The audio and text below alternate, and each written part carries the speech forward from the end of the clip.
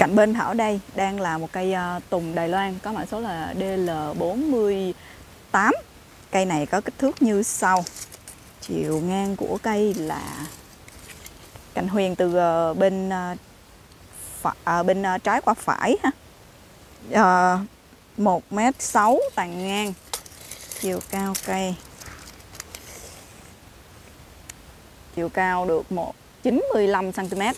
À, cây này sẽ ờ, phù hợp để kết hợp vào à, hồ cá coi để tạo cái phần bóng mát cho cá nó tụ về khi mà mình cho cá ăn.